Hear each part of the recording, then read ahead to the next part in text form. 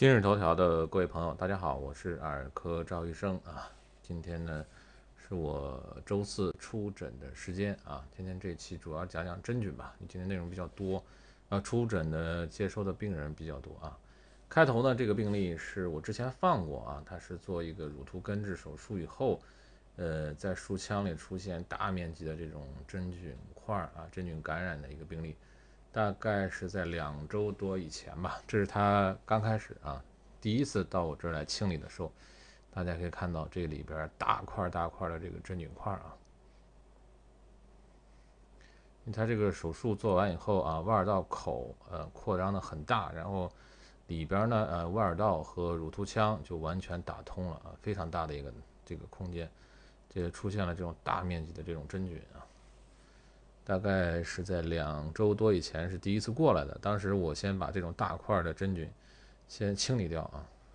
这个是之前的一个回放，当时我应该是放过吧，我印象当中。然后呃前几天先用双水清洗啊，把这个真菌这大量的清洗掉，然后从第四天开始啊，就这次清理完的第四天开始啊，使用这个呃抗真菌的。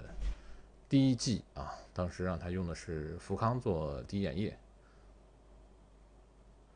这个是使用完两周以后啊，大家可以看到这个乳突腔里啊大面积的区域啊都是清洁的了，在这个我们叫窦脑膜角这个拐弯的地方啊，还有点少量的真菌的残余，那再次清理一次啊，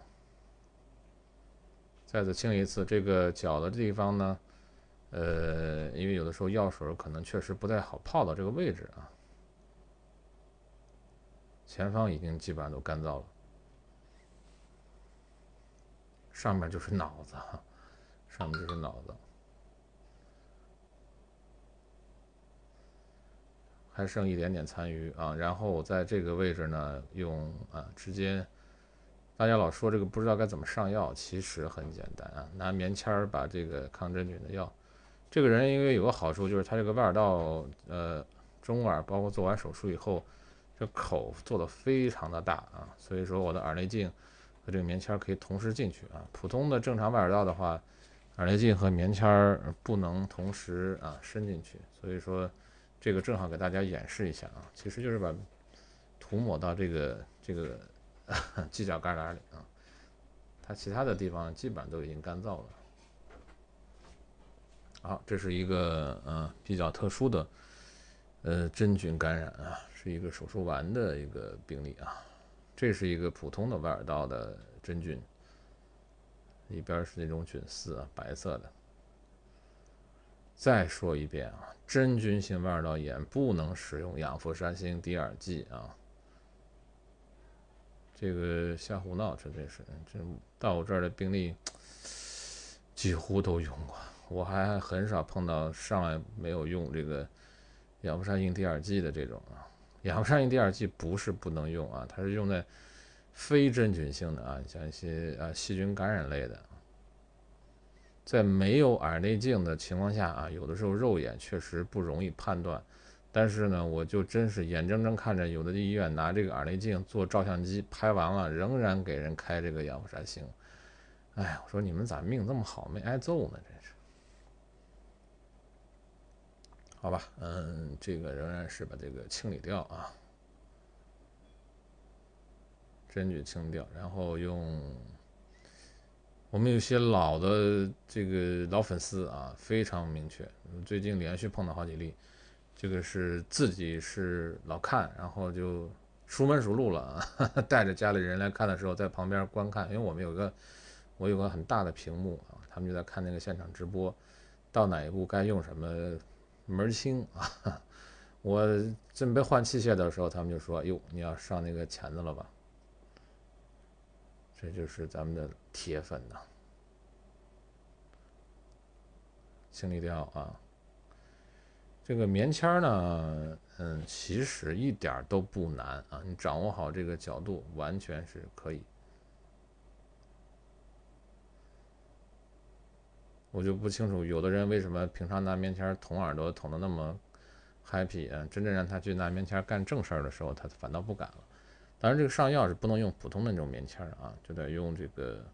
医用而用的这种啊两头的细杆棉签，而且要把那个那头要稍微的弄松一点，因为那个那种棉签的头呢做的相对有点硬啊，它那个前端呃接触药物的话，可能呃接触的量有点太少了，有的时候拿那个东西上药，把药涂到外耳道口上了，到里边反倒是没太多了。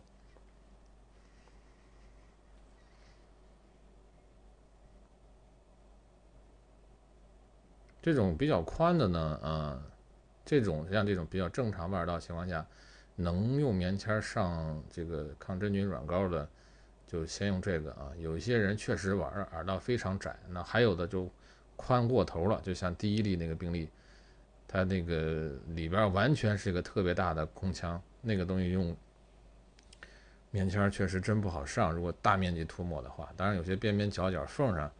还是可以上得上去的。所以一些特殊情况下啊，会首选使用这个呃抗真菌的液体，而且这个东西不好买，嗯，我接触的好几家医院都没有，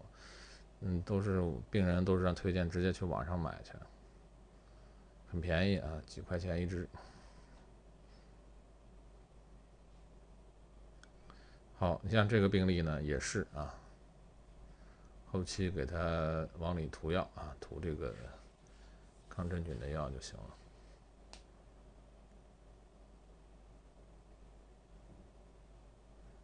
这个也是啊，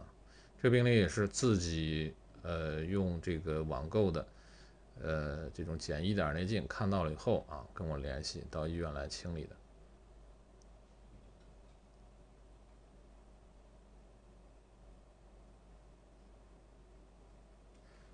所以这个简易的耳内镜呢，可以观察啊，但是你没办法操作，因为这些东西看到了你不可能动啊。因为我们做操作的话是需要双手，呃，左手呃控制这个内镜啊，右手使用器械。你个人，而且就是包括这些没有经过这个专业训练的这个呃人员，是不可能完成这些 技术。这个东西，你特别像这个在鼓膜表面啊。这个很危险的，这之前还有这个这个某种啊休闲场所的人员跑来请教，我说你可拉倒吧，这个东西一不小心，这这个你操作的人打个喷嚏，这个东西就可能会把这个鼓膜给捅穿了啊。这个需要非常精细的，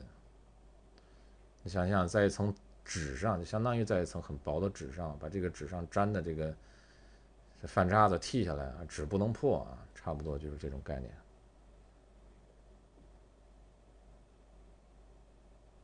我用的这个吸引器的口径应该是一点二吧，我印象。这个传统的这个门诊一般用的吸引器用不了这么细，这是我专门自己想办法弄来的，否则也干不了这个。鼓膜显露好了啊，然后这个后续的。也得去使用药物啊，光靠这个玩意儿，它不太可能会把所有的真菌的残渣余孽清理的就像洗过一样的，这个是不太现实。吸走啊，成人的还相对好一点，儿童就很麻烦了。儿童真菌性外道炎还好，相对比成人少，然后呃，有时偶尔会碰到，不太多啊。他这个鼓膜上有钙化斑，这个人在之前他有他正常时候啊没有，呃，就是没有真菌时候的一个耳内镜的照片然后那点明确显示的是那个钙化斑，